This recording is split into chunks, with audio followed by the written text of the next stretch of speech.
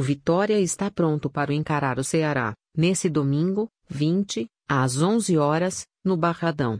Na manhã deste sábado, 19, o técnico Wagner Mancini comandou o último treino antes do duelo e finalizou a preparação da equipe. Com os portões da Toca do Leão fechados para torcida e imprensa, o treinador fez os últimos ajustes na equipe, mas não deu pistas sobre o time que começará o duelo. A escalação só será divulgada minutos antes da partida. Apesar do mistério, o time deve ser parecido com o que venceu o Vasco, no último domingo, 13, em São Januário. A principal novidade deve ser a presença do goleiro Elias, recém-contratado da Chapecoense e que deve fazer a sua estreia diante do Ceará.